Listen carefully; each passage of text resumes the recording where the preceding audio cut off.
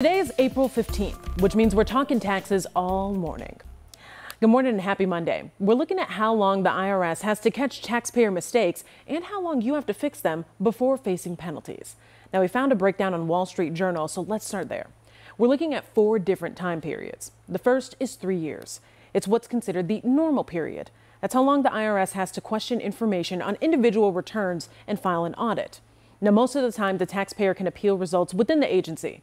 Although keep in mind, if you don't answer that notice coming from the IRS within 90 days to fix those errors, you could be stuck paying a tax bill with interest on top.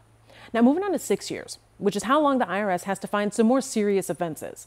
The agency has up to six years to find taxpayers who emit more than 25% of their income. Now, that applies to money you're getting from any and all sources your full time job, freelancing, side hustles, or otherwise. But if your taxes are less than 25% of your income, the part that's omitted anyway, the IRS only has three years to find you. Now, it's a lot of numbers, but bear with me here. That 10 year category is for taxpayers who owe the IRS money. The agency has 10 years to collect it.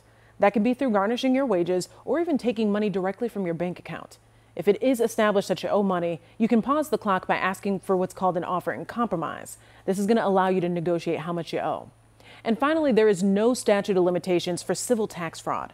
However, proving fraud can be difficult because the IRS has to show that the taxpayer's evasion was in fact willful.